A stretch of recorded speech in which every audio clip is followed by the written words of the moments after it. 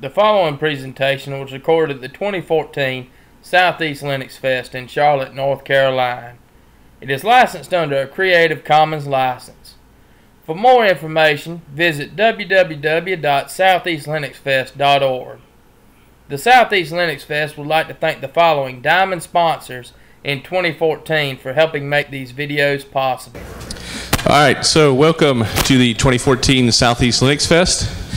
Uh, I am pleased to announce that uh, just as it has been in every year past, uh, supporting attendees have outgiven our largest sponsor yet again. So give yourself a round of applause. Uh, we will have a raffle a little later on uh, in the evening, right after the closing keynote in this room.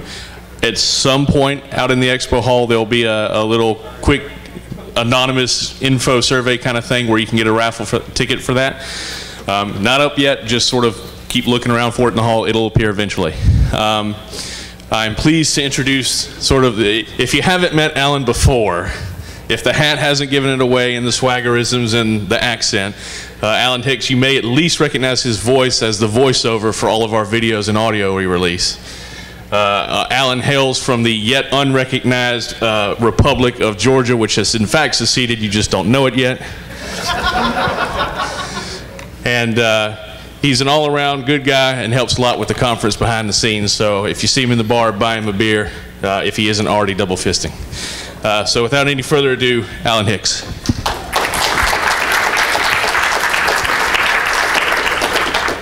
D- don't let the double fisting stop you. uh, so here we are, maintaining privacy in the digital age. I just wrote up there, who am I and why do I care? But Jeremy just told you. Uh, if you weren't paying attention then, you're not going to get it again. So, why does this matter? Uh, we have so many people thinking about, uh, I mean, how much of our lives is online now compared to five years ago or 10 years ago? I mean, 10 years ago, 2004, we have so very little. And then you go back another five years before that, and you're into 1999, and September 11th won't happen for two more years, and no one is thinking about anything. And really, the people, for the most part, don't think about these things today. So, with all the various uh, things that have come down in the past year, it's it's something that we need to at least have a public discussion about, even if we don't agree on what should be done or even what is currently being done. Uh, we should at least discuss this openly and see if we can't get to some sort of solutions. Uh, and what can we do about it? That's the solution part. And unfortunately, the answer is sometimes not a whole lot, and sometimes it's, you know, a, a, little more, and then sometimes it depends upon whether we're acting as individuals or if we're acting as groups. Uh, I'm going to try and keep the politics as far out of this as possible, but, you know, this is by its nature, given what's been going on the last year, somewhat a political discussion, but you may or may not agree with me, so I'm going to try and keep my personal things out of it. And when I do get to that, I'll point it out as much as I can. So let's move right in and uh, get started with. Eh, I've already gone over that, so I won't go over it again. Jeremy did that good enough. So, why does your digital privacy matter? And the unfortunate answer is because we all have something to hide. Is there anybody here, raise your hand, who does not have something to hide? Liar.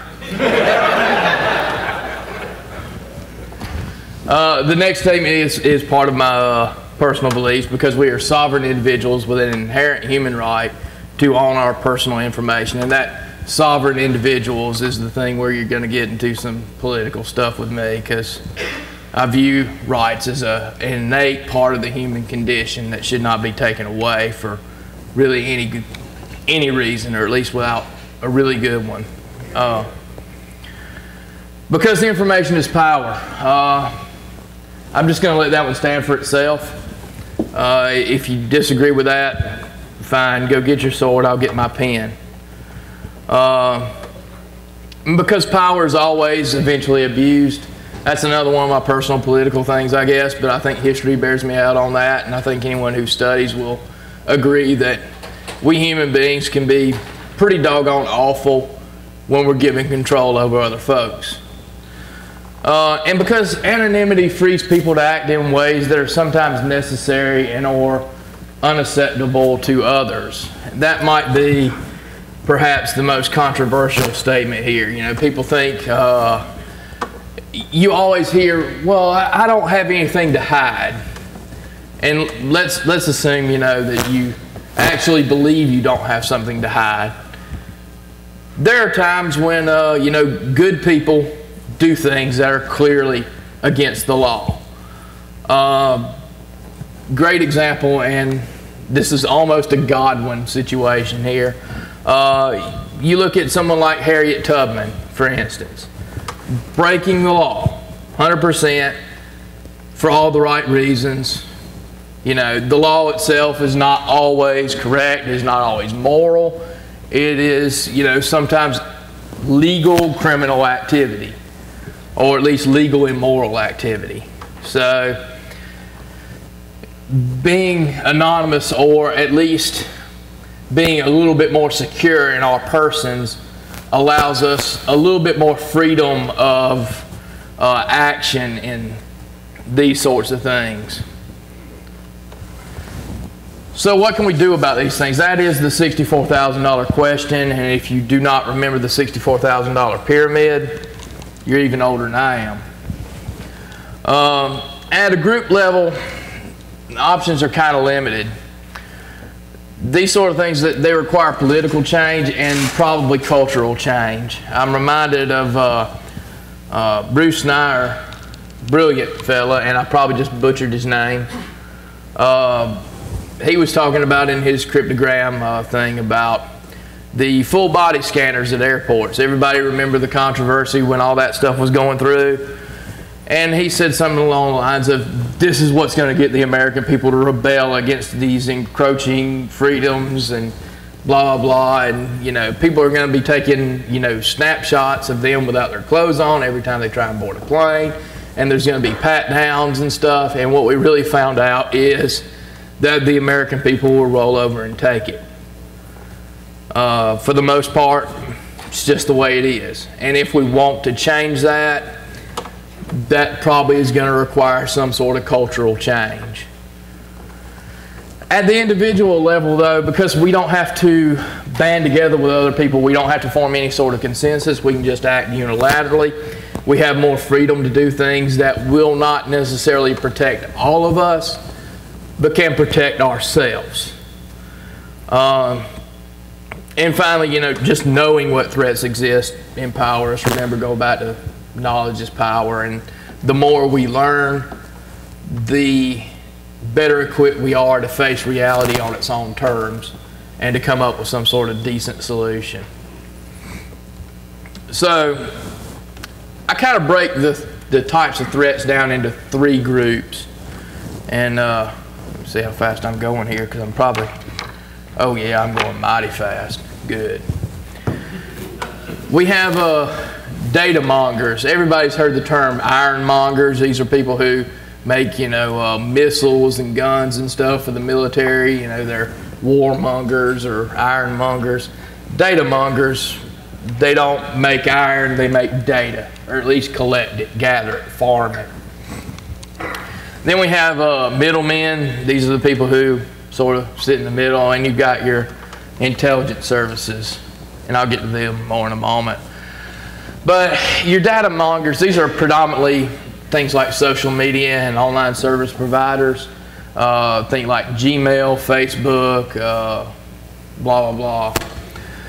And their business plan revolves at least partially around gathering data on you and doing something with that data. Uh, the benign cases are to serve ads tailored to you. Uh, if anybody ever watches This Week in Tech or listens to it. You know, there was like a couple, two or three weeks ago, Larry Laporte was on there, and they were talking about this, and he came along the line of, I, I don't, I don't care how much Amazon or how much Google knows about me. They're just using this to serve ads tailored to me.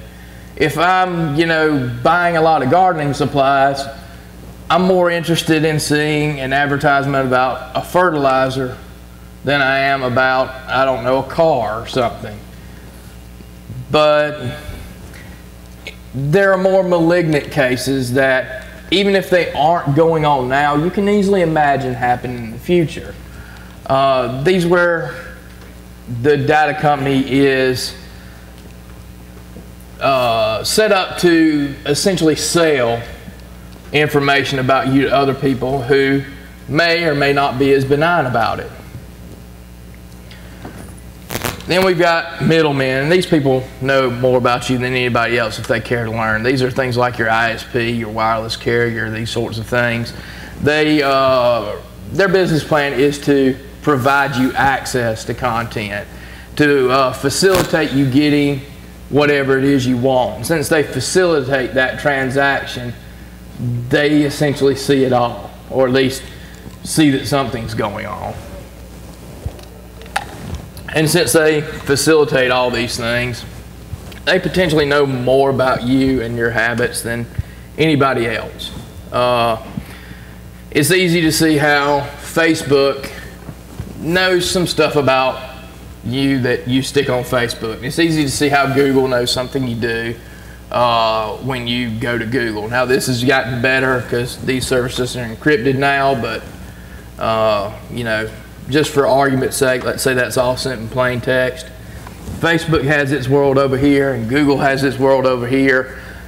But in the middle, you have your ISP who is facilitating both things, and they see all of it. Um, since their business plan, at least ostensibly, Comcast, revolves around providing access to content, you know, they might not be interested in selling your data, but they almost certainly have data of interest to other people. And we see this, you know, with things like uh, the NSA or some other government agency going to, say, AT&T, Verizon or something, saying, we want to tap on these pipes because that data is of interest to those organizations for whatever reason, right or wrong, legitimate, illegitimate, not going to get into that debate just saying, you know, they certainly have access to it. So even if they're not actively an enemy, you need to at least treat them, I guess, as a suspicious character.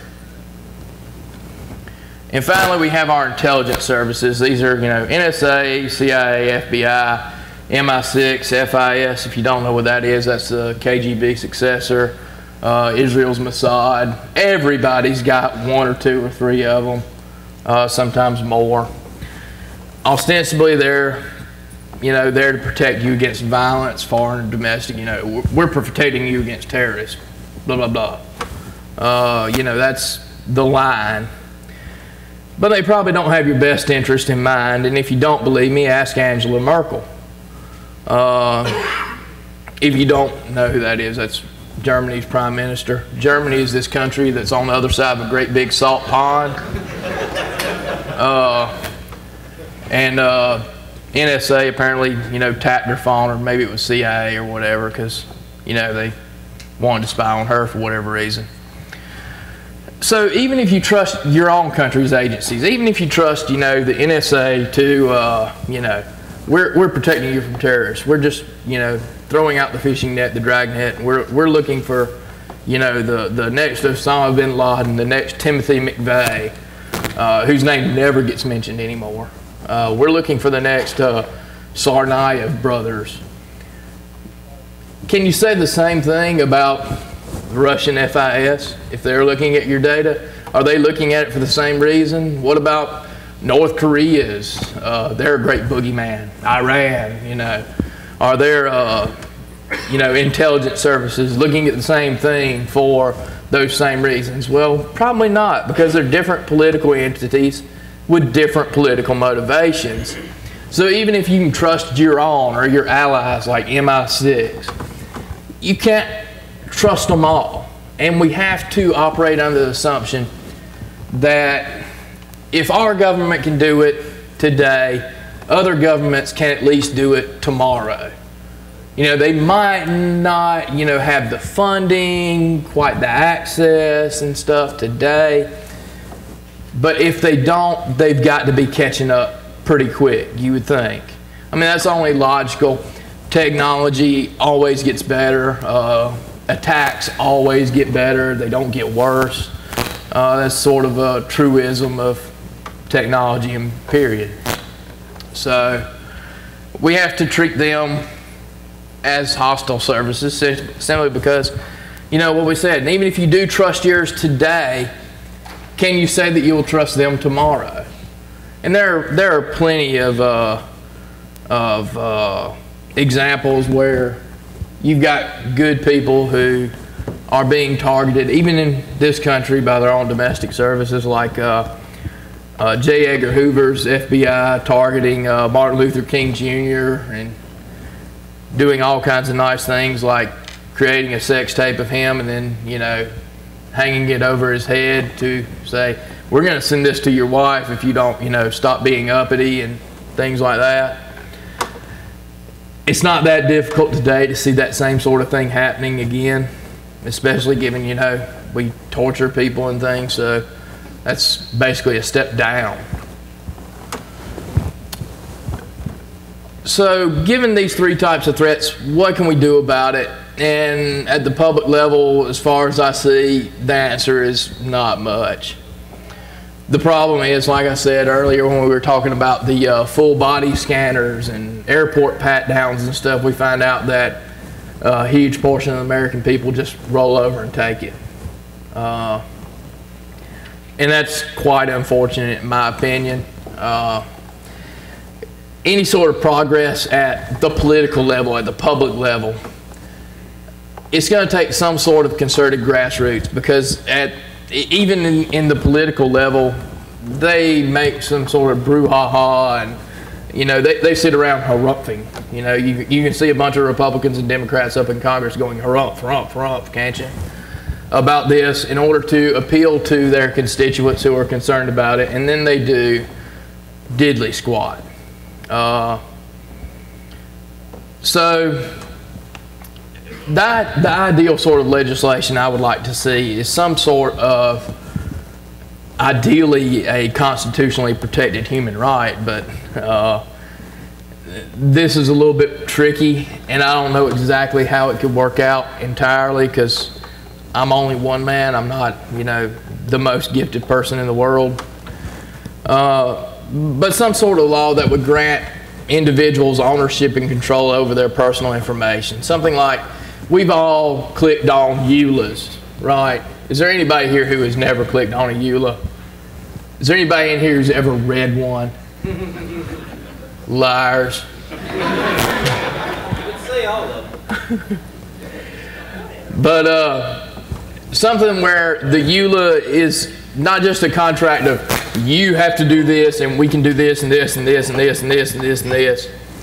But something like, okay, Facebook, I'm providing you with a certain amount of public data. You're contractually bound to do only these sorts of things with this data. And, you know, go from there. The, the issue is, and we'll get into that in a minute, who actually owns that data. Uh, and that's a blurry area, even if you say you own your own because we have people who, you know, info about me might also say something about y'all.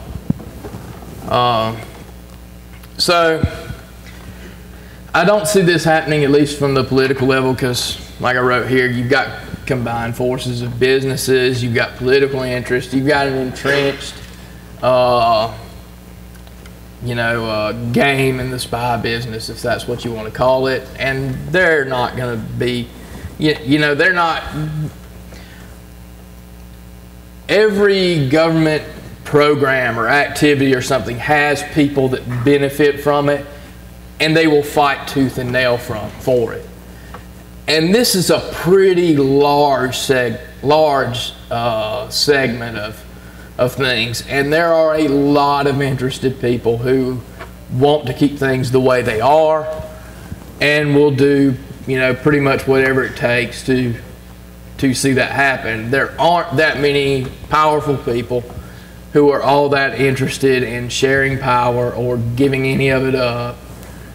So, you know, I don't see anything other than a concerted grassroots. And unfortunately, due to the way that the American people sort of roll over for things, I don't see that happening either. So, we're pretty much left with individual solutions, which fortunately things are a little bit better here. There's no great panacea at this level. Uh, you can have a very secure digital persona, I suppose you would say, uh, if you never get online. You know, if you cut yourself off, and, and even then it's not 100%, but you know, you can have some control over this simply because of, you know, y- if you can control yourself, and that's that's the hardest part, especially for us Americans, control ourselves. Uh, that that sounds communist. Uh, you know, that's anti-American. But uh, since we don't have control over information others acquire about us, uh, we do have control over what personal information hasn't yet been divulged. So, uh, this is sort of what I was talking about in the gray area. Something about me might uh, tell uh, something about you, and I'll get to that in a moment. Uh, each one of us as individuals, we have to decide how important our privacy is and how far we're willing to take it. So I take it to a certain level, and there are people who take it further than me. And there are a lot of people who don't take it nearly as far as I do. And I tend to look down on people who don't take it at least as far as I do, but I don't really have a right to. Provided that they have looked at this intelligently, thought about this, rationally said, this is as far as I'm willing to go. I like this convenience. I like these services. I like, you know, this, that, and the other. Uh, and I'm not willing to give that up. I'm willing to trade some of my personal information, some of my privacy. I'm willing to be a little bit more less anonymous, a little bit more open with my life in exchange for certain things. And as long as they've made that rational choice, I don't really have the right to tell them that they have chosen wrong, I guess, because what's right for them might not be right for me and vice versa. So, what can we do against the data mongers? These are, you know, Facebook, uh, Google, blah, blah, blah. And I'm running a lot faster than I want to. So, if anybody wants to slow me down, you can raise your hand and ask a question. But uh, abstinence, I'm going to sound like a Talibaptist here. Abstinence is the 100% most effective solution if we're willing to commit to it. Uh, we have the same problem with abstinence online that we have with teenage sex. It does not work because people are not willing to do it. Uh, you know, you can easily say if you cut yourself completely off, you don't have anything to worry about. And I suppose, at least to some extent, that's true, but then you're cut off from everything.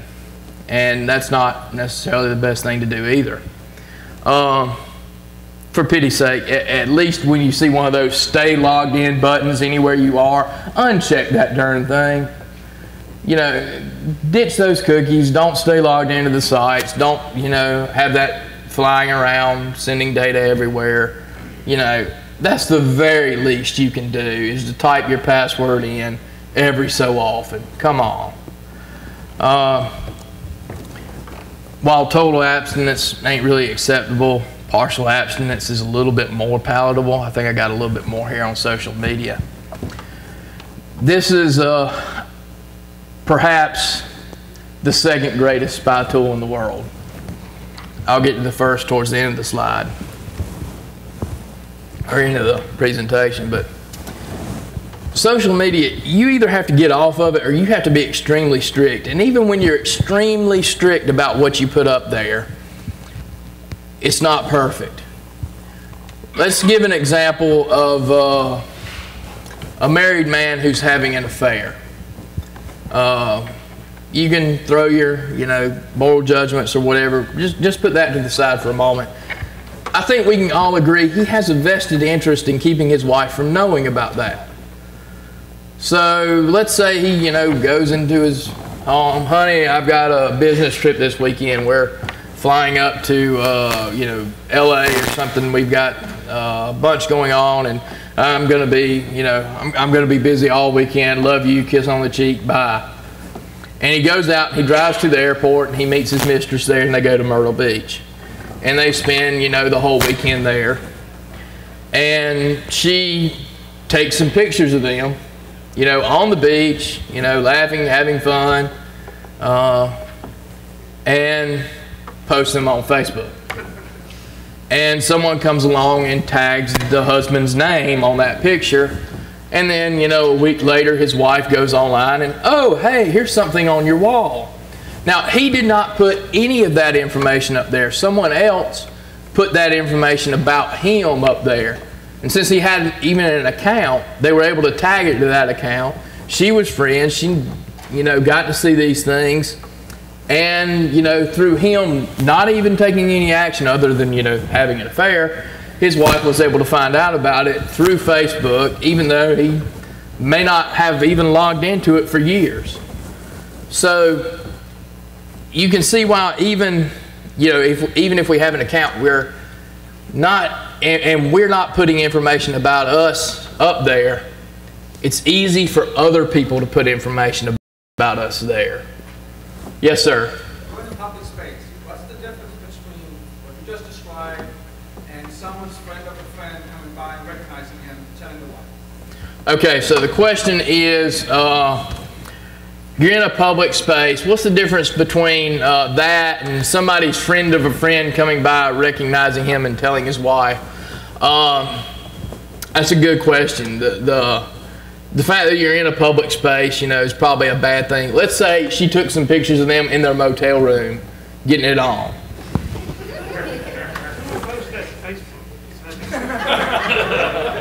Okay, so the question was who would post that to Facebook?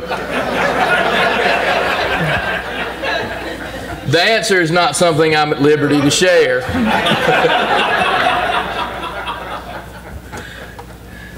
I mean, this is about digital privacy. I will have to, you know, th- this is going on YouTube with my name attached to it. There are some things I will not say. But uh, so you know, see, even with uh, strict discipline, uh, it's not 100% effective. What just? Uh, One thing I do think is worth pointing out is that somebody doesn't even necessarily have to decide on their own to tag that person. Every person who sees them is going to be begged by Facebook, hey, do you want to tag Joe with last name? yeah, that's a good point. Uh, his uh, comment, "You're a good man. I don't care what others say about you." so his comment was uh, it, that you know they, they put this thing up there and they don't even necessarily have to tag it, but Facebook is going to pester everyone who looks at that to tag the people in there. Uh, yes. uh, going down the Facebook rabbit hole, if you ever have read their user agreement, uh, you don't own your pictures anymore when you put them on Facebook. So the Dirty Mistress pictures could get posted on Facebook. Facebook now owns that picture and can make the Dirty Mistress Myrtle Beach bikini calendar, own it, sell it, and never inform her of that.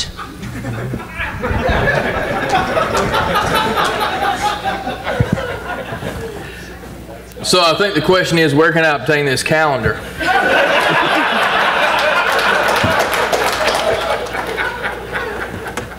uh, I, I'm assuming since you had the mic, we got that question good. Okay. Uh, anybody else want to say something that I can joke on?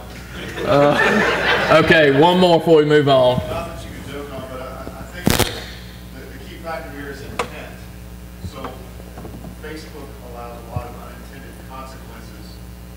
Uh, You know, unintended consequences, you know, it's easy to do things on Facebook that, that are gonna have repercussions that you don't even realize.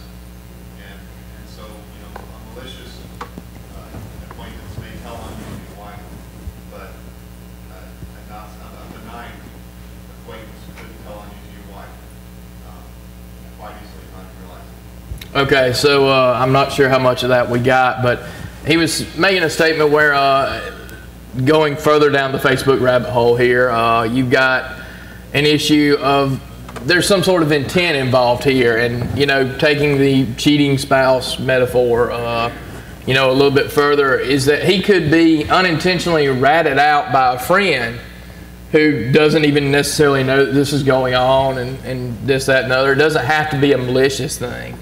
Uh, one, one last one, then we'll move on to the next slide. It was argued in an academic presentation I saw that every person is in multiple groups in society. There's probably somebody's child, you may have an employer, maybe a parent, maybe belong to PTA. To each group, the person is a different person, giving a different presentation. What bulk monitoring does is it breaks down barriers to say you're only what you're dating. Whereas negotiating society in general, every person has a different presentation, each different group. Y'all get that uh, question good? Okay. Uh, what he said. Uh, basically, what he was saying is, is he attended a talk. Someone else was giving a presentation about how. I, I guess the way I should put it is we have different faces. You know, you are a, a different person to your mom than you are to your grandmama. You're a different person to those two than you are to your best friend. You're a different person to those three than you are to your boss. And that we sort of, I guess, behave differently somewhat based on the situation or, or based on the relationships we have to other people. And that social media kind of tears all that away because anytime we post something with our friend, you know, it, it can be in one context where, you know, we're, we're goofing around, having a good time, and we're being sarcastic or something. Uh, and it goes out to everyone that way, but it isn't read that way by everyone because everyone else, you know, your grandmother's relationship is fundamentally different from that of your friends, and yet she's receiving this data as if she was the friend you originally had it with. And there's a lot of, I wouldn't necessarily say miscommunication because it was never really intended to be communicated that way to begin with. Uh, but there's a lot of misunderstanding, I guess, at best. So, a little bit further. I really do appreciate the good questions and comments, though, because that's the only way we're going to make it to 10 o'clock. so, against service providers, thank God we don't have to cut ourselves completely off. Uh, you know, ISPs, things like that, we don't have to cut ourselves off completely. Uh, if we did, you would never be able to see this YouTube presentation when it, you know, hits. Often it's enough to just limit use to uh, certain areas. You know, example, we got uh, an email account you only use for spam. You know, we've got our Gmail account for, you know, ahickspam at gmail.com. And you sign up for every little thing that you don't ever want to get an email from, and it goes there to die. It's sort of the email bit bucket. And yes, it tells a certain amount about you, but it isn't tied to your Facebook account. You used a different email address there. It isn't tied to the rest of the stuff you do on Google. You use different accounts there for Google Plus. Does anybody here actually use Google Plus? Bunch of liars. you might have an account, but you don't use it.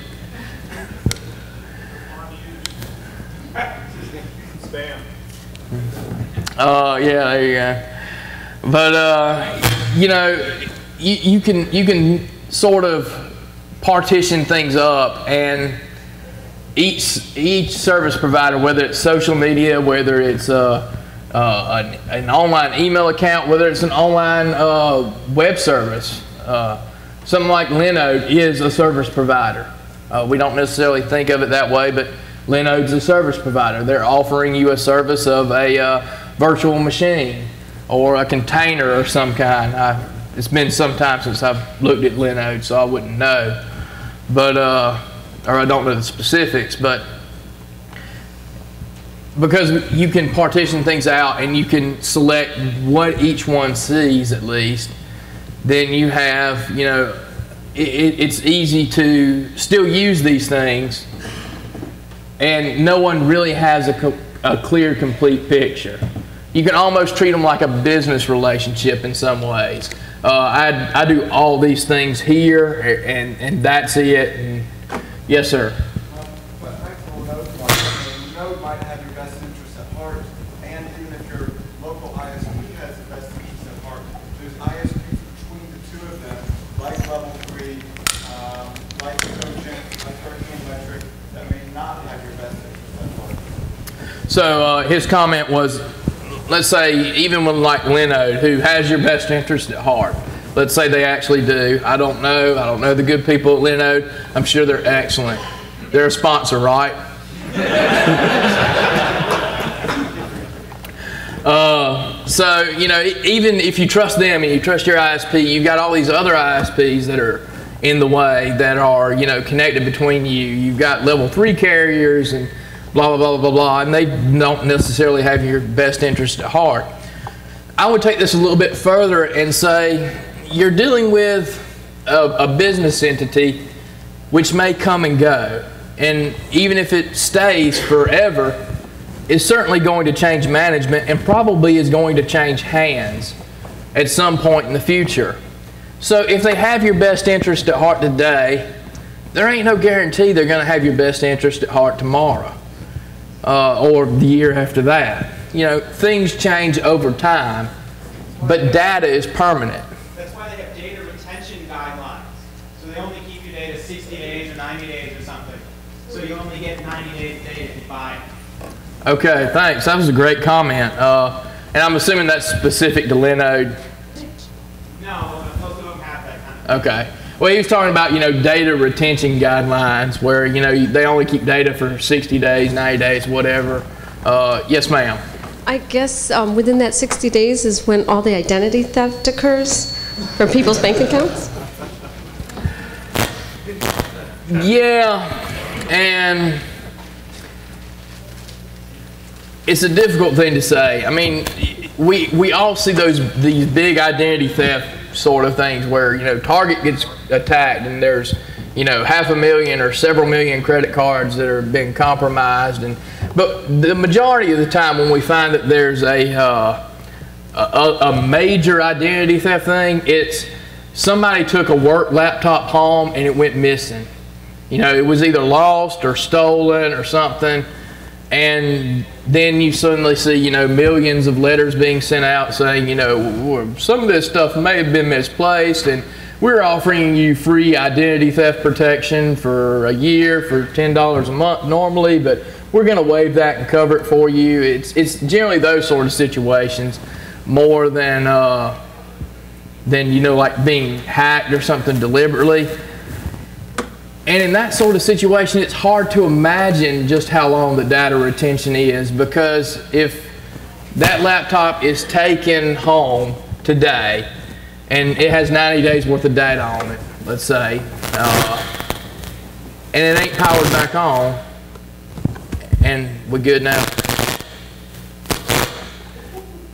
And uh, it ain't powered back on and it gets lost or stolen, you know, it, it can be, you know, two, three years, or it can be six months later that someone pulls the drive, grabs all the data off of it, and you know your data retention policy doesn't matter there because that data exists somewhere and it can be stolen during that window or without or, or outside that window depending on you know how uh, meticulous I guess you would say uh, data collectors are about handling that. And for the most part, ba- I mean, I don't have a lot of great experience on this, but based on what I've seen, they're not very meticulous about following those things. Uh, other business sort of interests get in the way. Uh, so, anything else? Yes, Miss Deb. Um, do you use any of the uh, add-ons like the ad blocker or no script? Uh, like ad blocker or no script, or um, I don't know if you saw the thing where you could opt out of the advertiser stuff with the Digital Advertising Alliance. So have you looked into any of those, or would you recommend any of that kind of stuff? Links is awesome. Uh, in, in, in all seriousness, Ghostery, and, and this is made by one of the companies that sends out ads and collects data. So, you know, in the future, it might, you know, not be as effective as it is today. It, it's pretty awesome stuff. It will block more things than whatever else you have. AdBlock Plus, yeah. AdBlock Plus and Ghostery will make your web browsing experience a hell of a lot better. Uh, yes, sir. Yeah, there's one more that just popped up. I saw it's uh, called Disconnect.me, and uh, it's an ex-Google employee that uh, and a consumer privacy rights attorney. They get together. Yeah, sure. So it's, uh, it's called Disconnect.me. It's similar to some of these other things, but it's an ex-Google engineer and a privacy rights attorney got together and built this plugin for your browser. And it just, uh, it sort of tracks all the things that it's blocking for you and tells you all these social media things, all these tracking links and uh, clickbacks that just don't keep track of you anymore because it blocks them. So it's a pretty good plugin. Well, thanks. I wasn't aware of disconnect.me. Uh, I'll check that out. Since I don't actually know about it, I'm not going to give them a plug right now, but something for your further edification. Figure it out. Uh, and when you get right down to it, we all have to figure it out as individuals. I mean, there, we've already gone over the idea that the group discussion stuff isn't great, so or the group action stuff is somewhat limited in what can be accomplished due to a lack of people who are actually interested. So those of us who understand the risk, who, who care about this sort of stuff, we all have to sort of figure it out ourselves. So uh, let's just move on along because let's see what time is it. Ooh, we're getting close. Against the middlemen, these are your ISPs, but not just ISPs. Think about your wireless carrier. Think about uh, your uh, satellite or cable TV provider. You know, these people are providing a service and they have a certain amount of data on you. Uh, your ISP, your wireless provider, obviously they have the most, but there are a lot of other sort of providers you can think of. Uh, encryption works, and I'll get more to this a little bit later on. Uh, if you wanted to be 100% anonymous, you'd have to use something like Tor, but uh, against the middleman, we really don't care that much. They pretty much know when they see gigs of traffic going by at 8 p.m. that you're watching Netflix.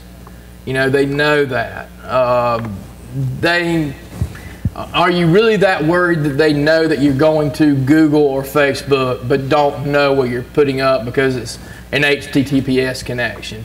You know, those are things you have to decide for yourself. I would say I wouldn't worry that much about it uh, because that information, I guess you would say that metadata, uh, there's a good buzzword. Uh, you know, not that important, but I think we can all agree that there might be times when it is. If you're really worried about it, you can go with some sort of full encryption service like Tor, some sort of VPN, something where even you know the IPs, who you're communicating with, gets encrypted. Uh, you, can do that, but you know it's probably not needed as long as you're using some sort of endpoint-to-endpoint encryption. You know you're okay. So, against the intelligence services, how do we, you know, foil the NSA? Once again, encryption works. The Snowden revelations show us time and time again that good, solid, non-encryption algorithms using decent keys are incredibly difficult for the NSA to hide. The greatest revelation is that the NSA doesn't have some sort of magic quantum computer that breaks everything all at once. I think we can all breathe a sigh of relief there. Uh, but if you look at how they uh, do things, like uh, here's a good example: the FBI when they went in and shut down the Silk Road. Everybody know what the Silk Road is? Stoner. uh, when they went in and shut down like the Silk Road, and they shut down a bunch of child pornography sites that were on these uh, dark nets or whatever you want to call them inside of the Tor uh, network they went in and they put in, or, they took over these sites and they put in some exploit code that exploited the Tor browser, which was based on some ancient Firefox uh, thing with Tor built into it. and it exploited a vulnerability in that browser. So they got to the content after it was decrypted and before it was encrypted in the first place on, on your browser's end. And they did that because they couldn't really break the encryption.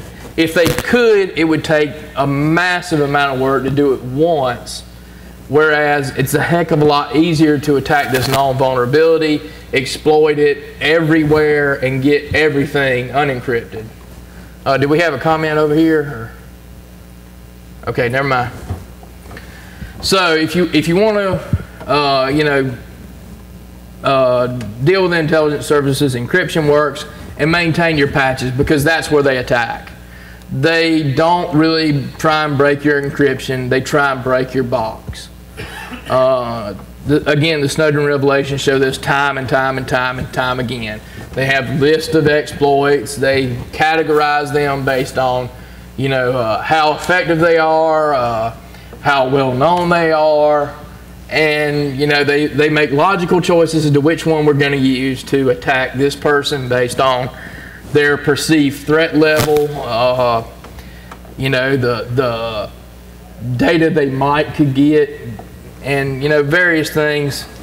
And as long as you maintain patches, it's not perfect because they can have zero day stuff, and we're certain they have zero day stuff that we don't know about yet. And if they don't, they'll find some others. And if the NSA doesn't, then you know Chinese Secret Service will, uh, FIS will, MI6 will, Mossad will, uh, Brazilian Secret Service, whoever they are. They're so secret we don't know them. Uh, you know they'll find it. Mexico's drug cartels will find it. That's the Secret Service in Mexico. In fact, I think that's the only service in Mexico. Uh, and you know reduce exposure as much as possible. These these are basic things. Firewalls, you know, do you, do your basic security conscious stuff that you see everyone tell you to do, and that we're all fairly lax on. Do those things, and you're really, if not completely avoiding, you're you're dramatically reducing your risk. You're mitigating the uh, the problems. You know, but basically beating these people revolves down to using good sense. You know, encrypt what you actually encrypt everything you possibly can because the last thing they want to see is, you know, she's going to Facebook and, and posting up, you know, all these pictures of her little doggy, Toto, and suddenly, you know, she's making some encrypted connection out to Iran. We're interested in this lady. You know, uh, what, what's in these bits? And, uh, you know, if you encrypt everything, then there's no reason to look at this sort of data as more suspicious than that sort of data.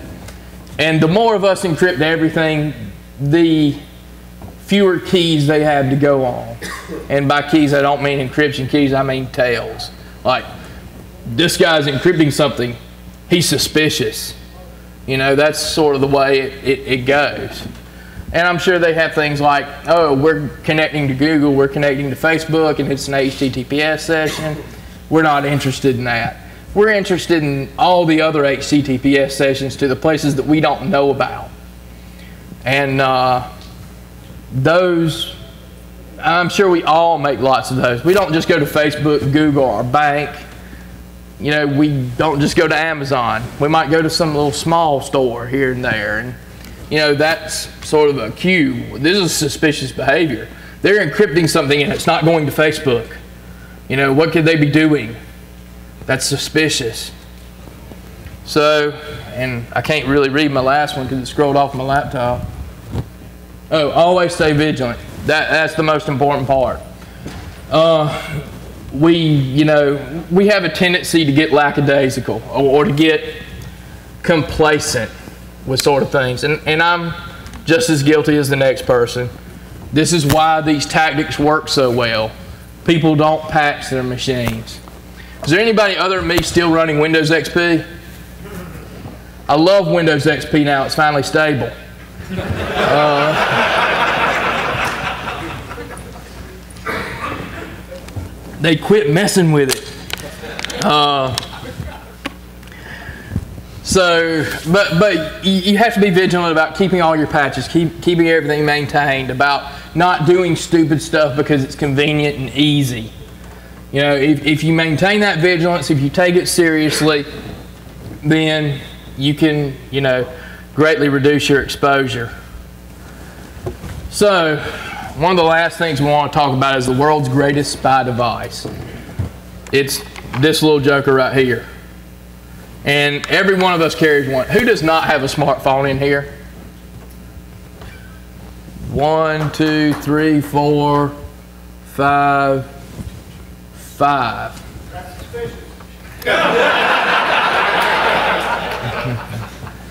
Good man. I, I, I, don't know whether to be thrilled or, or, whether to be disappointed or if they're just lying to me. Uh, but, you know, how, how many people don't have smartphones these days? How many kids have a smartphone these days? You know, at 14, 15, they get smartphones and they carry their entire lives on these devices. Not just phone calls, not just their real-time GPS coordinates, not just their text, their email, their pictures, their videos, their browsing history, their social media, all their apps that they use, uh, their Snapchat stuff.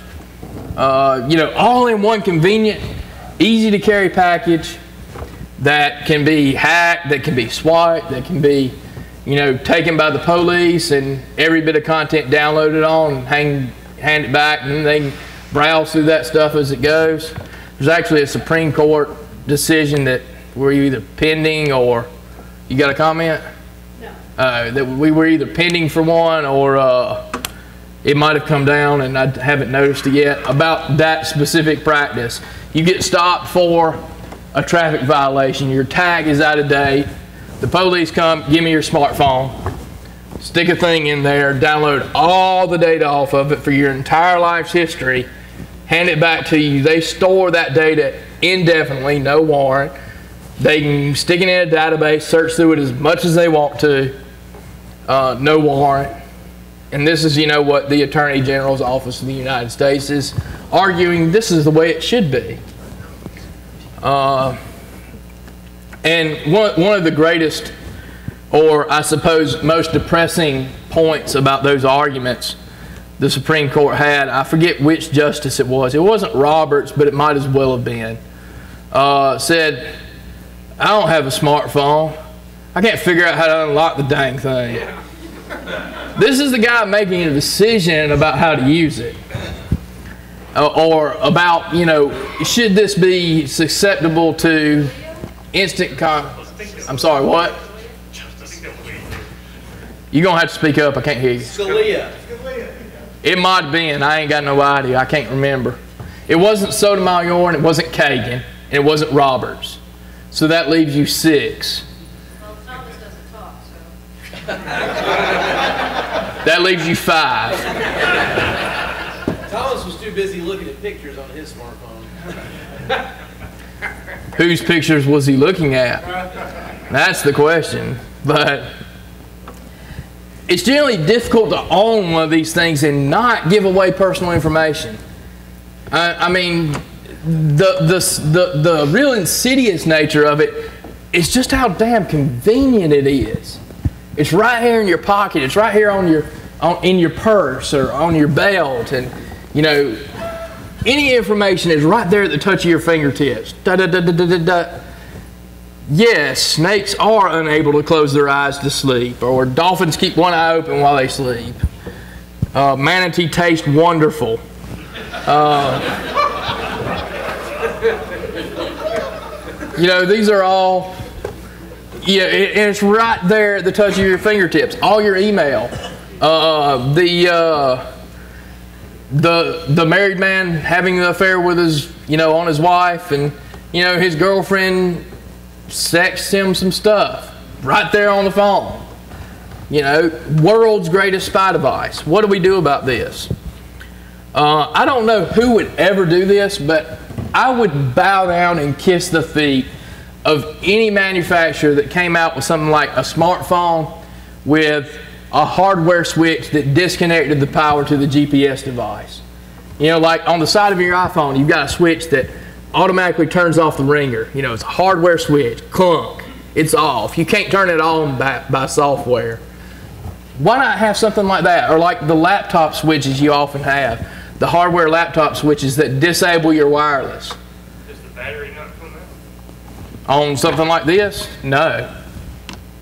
Frequently soldered in, can't even replace them. Yeah. Even if you turn off the GPS, the, uh, the cell towers, you, at least your general area is known. And they know which direction. Okay, his point was uh, even if you turn off the GPS, thanks to the cell towers, your general location is known. To that I say, there's only one cell tower where I live. So they only know in a pretty wide radius around that thing that someone's there. And uh, once you leave there, it's a long time before you pick up another one. Pull the SIM card. Uh, yeah, pull the SIM card. Uh, that that's not quite as much fun as throwing it into there and shooting it with a shotgun.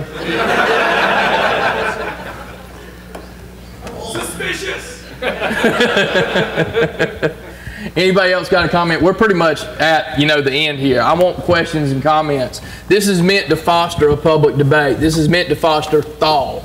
This is meant to get everyone thinking about these things and talking about them. Yes, sir. Uh, I I know you were talking about the electronic side, but I'm kind of, uh, kind of surprised you were limited to the subject of credit bureaus, which are sort of the grandfathers of all of this, who collect information on us, keep it as their own, and then insist it's right, and we have to prove that it's false, but they're the final arbiters, so if it's still incorrect and we prove it's incorrect, it's still correct.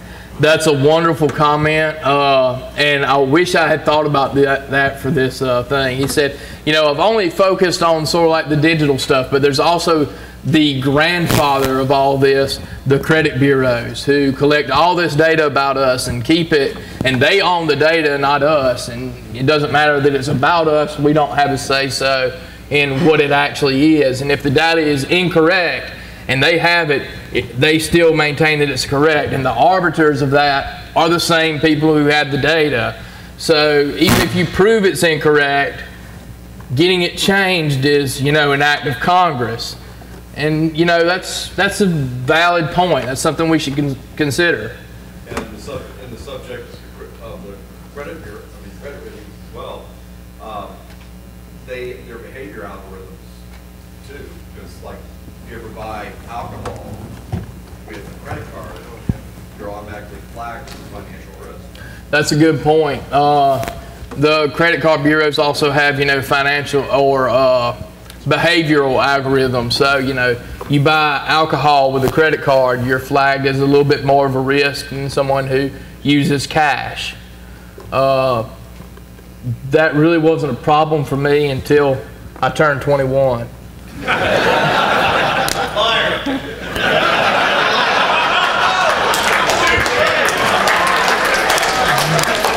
not a liar, that's when he got his first credit card. That's what I meant. I used cash before then. Yes, sir.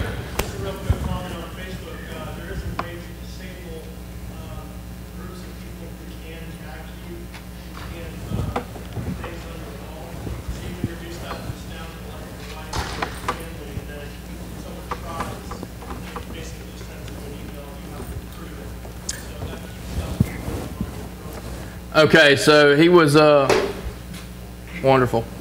So his uh, comment was, you know, like specific to Facebook, where it's saying uh, we have these uh, controls, I guess, for who can and can't tag you. So you can say only these few people can tag me, and then when someone else tries to, it it sends an email to you, and that sounds like a great solution. But that solution can be changed tomorrow. Nothing stops Facebook from uh, doing that specifically. Yes, sir. The other thing about that, and I meant to say this before, I don't think I was perfectly clear when I talked about Facebook. When I talked about Facebook begging you to tag people in their pictures, the sinister thing to me is they're using facial recognition software. They already know who it is. When my friend's wife, Christy, posts pictures of her family, she never tags her husband. And every time I see one of her pictures, it asks me, Do you want to tag Kyle? And I'm like, well, if his wife didn't, why do I? But the point is, Facebook already knows. If, it, if they wanted to, tomorrow they could just start automatically tagging him. That's a fair point. I'm afraid this is all the time we've got for this discussion, so if you want to talk some more, you can find me later. Uh, bring, you know, alcohol.